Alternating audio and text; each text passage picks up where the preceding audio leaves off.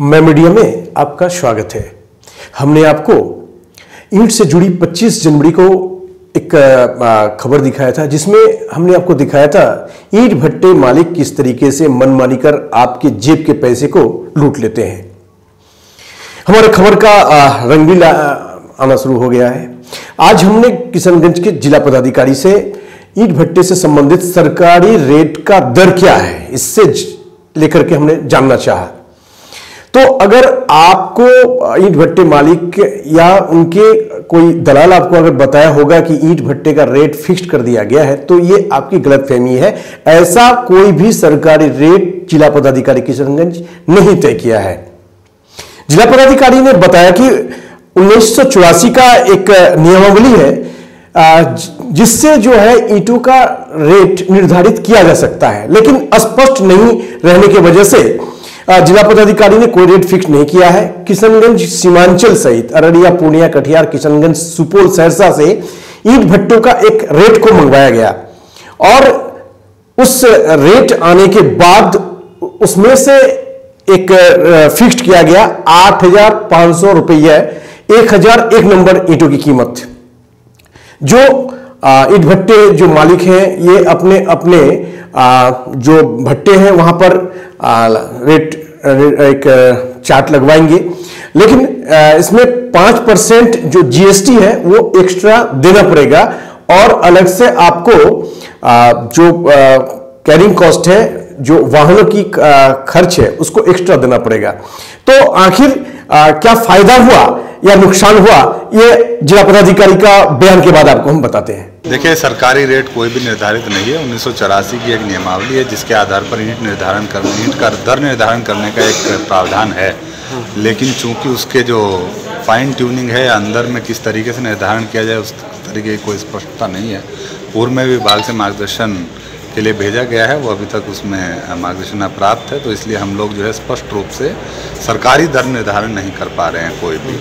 लेकिन चूँकि यहाँ पर 10 जिलों का हमने आसपास के सभी 10 जिलों का रेट मंगाया, उसको कंपेयर किया और ईंट भट्टा मालिकों के साथ एक बैठक की तो सभी लोगों ने जो एक नंबर का जो ईंट होता है उसका पचासी सौ रुपये अधिकतम दर निर्धारण करने का एक सहमति अपनी दी है और साथ ही साथ उसको डिस्प्ले भी वो सभी ईंट भट्टों पर करेंगे तो हम लोग ये अपेक्षा कर रहे हैं कि जो पहले साढ़े नौ दस हज़ार या दस हज़ार से ज़्यादा भी रेट कुछ जगह पर बातें आ रही थी तो वो अधिकतम दर पचासी सौ है।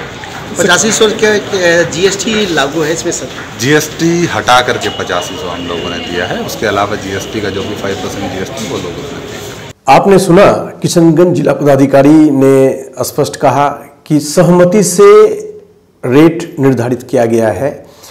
ईट भट्टा मालिकों को बुला करके उसके साथ बैठक कर साढ़े आठ हज़ार रुपया निर्धारित किया गया है।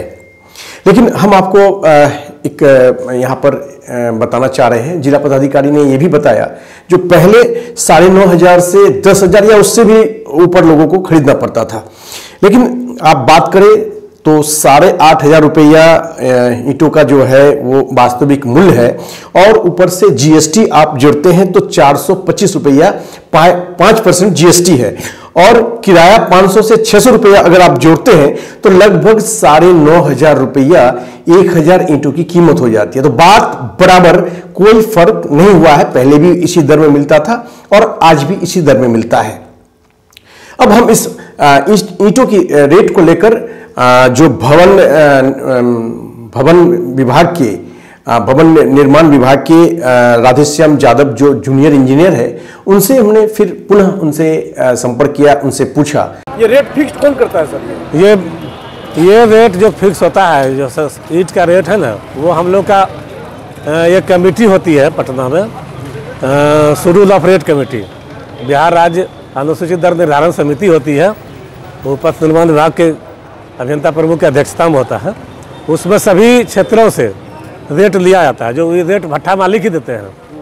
वो उन रेट में जो न्यूनतम रेट होता है उस मिनिमम रेट को विभाग उसको अप्रूव करता है। तो वो विभाग हम लोग भवन निर्माण विभाग के लिए भवन निर्माण विभाग से अप्रूव होकर के और फाइनल जो है कमेटी से अप्रूव होता है। तो वो भवन निर्माण विभाग ने 2018 में ही ये रेट दिया है संतावन सौ रुपये हाँ हाँ। संतावन सौ अट्ठाईस ये एक नंबर है या हाँ? हंड्रेड ए बोलते हैं हम लोग उसको। हंड्रेड ए एक नंबर ईटा हुआ। साइज़ क्या होता है इसका? साइज़ अभी तो याद नहीं है हम बताएगा दस इंची और पाँच इंची। हाँ हाँ साइज़ तो जो स्टैंडर्ड साइज़ है वो।